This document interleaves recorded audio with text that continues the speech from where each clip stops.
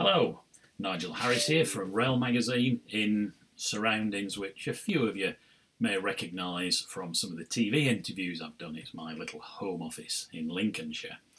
And I'm here to remind you about the National Rail Awards. Um, it can't take place, sadly, this year as a real event, um, so we're going to do it virtually. And I'll be honest, the first time I heard about this idea, I thought, how's that going to work? But having seen the technology, I think it's going to be really good.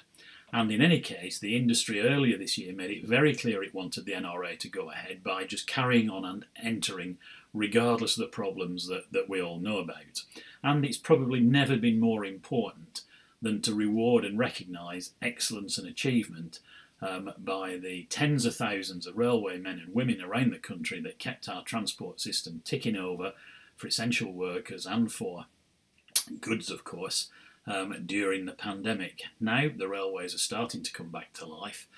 Um, and so on September 17th at 4 o'clock, um, we'll be broadcasting a virtual National Rail Awards 2020 ceremony, which my very good friend Huw Edwards and I will be presenting. We're going to film it a little bit in advance against a green screen, and there's some marvellous technology uh, which will put us, well, we'll see where it's going to put us because it could be anywhere. Who's to say?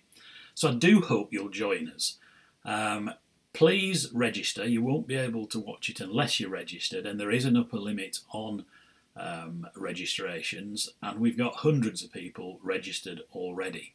So please don't delay. Please join us. You can get the pizza and beers or wine and canapes ready, either on your own or in little groups, socially distanced, of course and, and join us for the show. Huw and I are really looking forward to, to shooting it for you.